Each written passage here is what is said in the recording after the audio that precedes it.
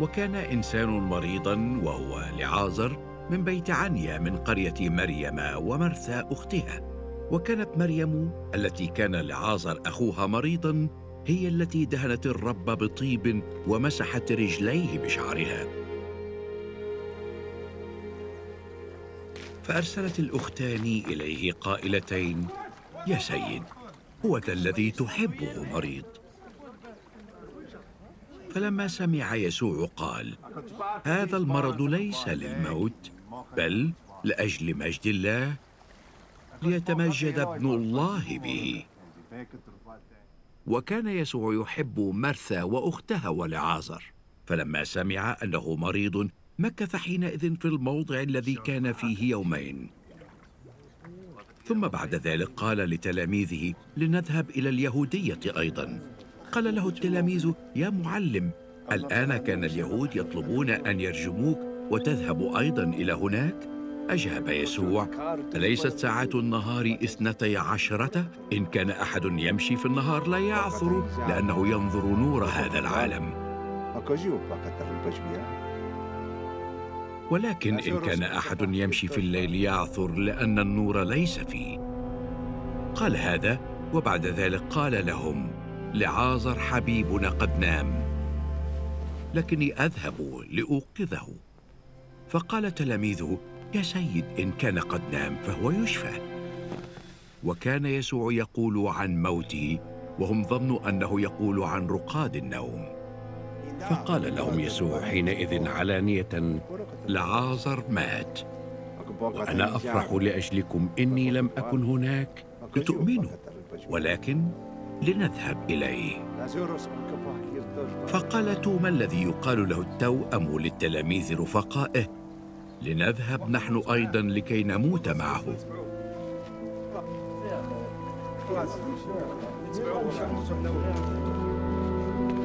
فلما أتى يسوع وجد أنه قد صار له أربعة أيام في القبر. وكانت بيت عنيا قريبة من أورشليم نحو خمس عشرة غلوة. وكان كثيرون من اليهود قد جاءوا إلى مرسى ومريم ليعزوهما عن أخيهما فلما سمعت مرسى أن يسوع آت لاقته. وأما مريم فاستمرت جالسة في البيت.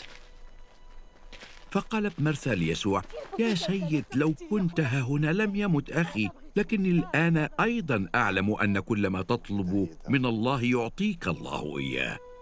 قال لها يسوع سيقوم أخوك. قالت له مرثا أنا أعلم أنه سيقوم في القيامة في اليوم الأخير.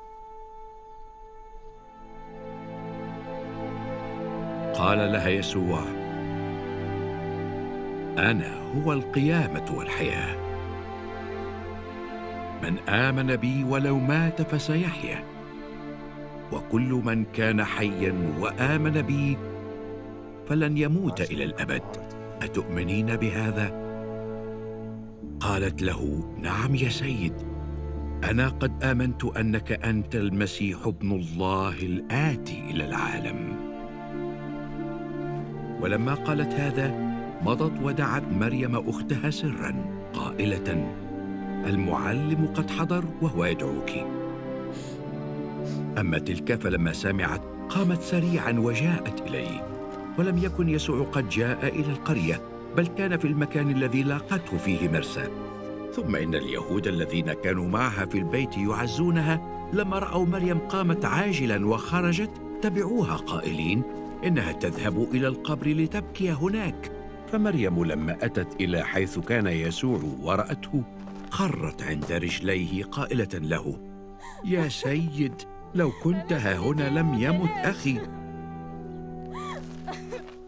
فلما راها يسوع تبكي واليهود الذين جاءوا معها يبكون انزعج بالروح والطرب وقال أين وضعتموه؟ قالوا له يا سيد تعال وانظر.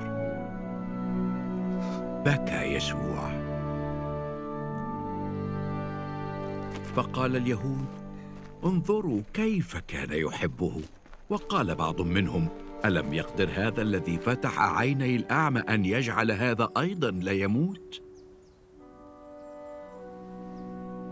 فانزعج يسوع أيضا في نفسه وجاء إلى القبر وكان مغارة وقد وضع عليه حجر. قال يسوع ارفعوا الحجر. قالت له مرسى أخت الميت يا سيد قد أنتن لأن له أربعة أيام قال لها يسوع ألم أقل لك إن آمنت ترين مجد الله؟ فرفعوا الحجر حيث كان الميت موضوعا ورفع يسوع عينيه إلى فوق وقال أيها الآب أشكرك لأنك سمعت لي وأنا علمت أنك في كل حين تسمع لي. ولكن لأجل هذا الجمع الواقف قلت ليؤمنوا أنك أرسلتني. ولما قال هذا صرخ بصوت عظيم لعازر هلم خارجا.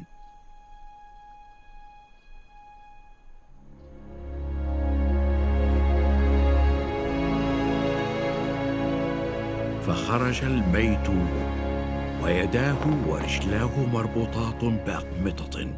ووجهه ملفوف بمنديل. فقال لهم يسوع حلوة ودعوه يذهب.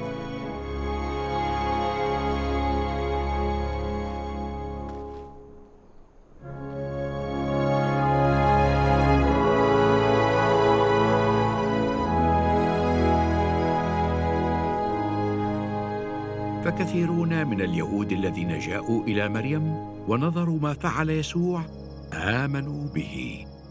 وأما قوم منهم فمضوا إلى الفريسيين وقالوا لهم عما فعل يسوع. فجمع رؤساء الكهنة والفريسيون مجمعا وقالوا ماذا نصنع؟ فإن هذا الإنسان يعمل آيات كثيرة. إن تركناه هكذا يؤمن الجميع به. فيأتي الرومانيون ويأخذون موضعنا وأمتنا. فقال لهم واحد منهم وهو قيافة كان رئيسا للكهنة في تلك السنة. أنتم لستم تعرفون شيئا ولا تفكرون أنه خير لنا أن يموت إنسان واحد عن الشعب ولا تهلك الأمة كلها. ولم يقل هذا من نفسه بل إذ كان رئيسا للكهنة في تلك السنة تنبأ أن يسوع مزمع أن يموت عن الأمة وليس عن الأمة فقط. بل ليجمع أبناء الله المتفرقين إلى واحد. فمن ذلك اليوم تشاوروا ليقتلوه. فلم يكن يسوع أيضا يمشي بين اليهود علانية بل مضى من هناك إلى الكورة القريبة من البرية إلى مدينة يقال لها أفرايم ومكث هناك مع تلاميذه.